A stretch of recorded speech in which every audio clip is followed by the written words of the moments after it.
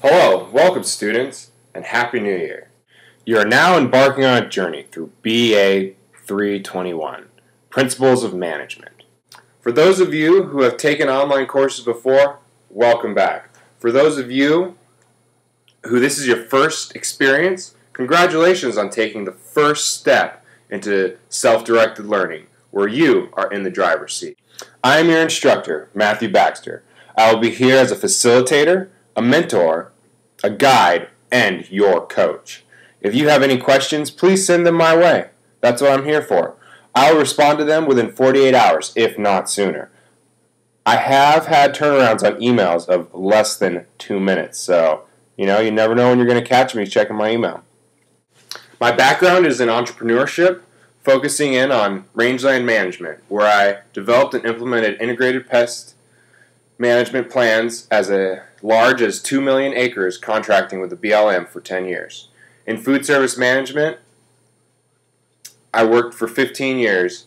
In that time, I managed a brewery, owned a bakery, and managed over 70 employees at three different ice cream stores. I look forward to learning all about your experiences as this course moves through its learning objectives. My PhD is in management education, and like you, I am a student also who attends university exclusively online. I am all but dissertated and will have my credentials by the end of this time next year. I firmly believe that online education, if facilitated in conjunction with the right student attitude, is far superior in getting the most out of your buck.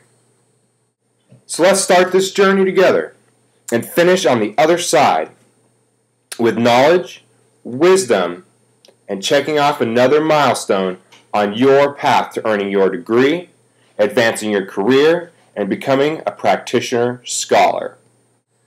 Remember, do not give up. Stay positive because there's no dress rehearsal for, for life.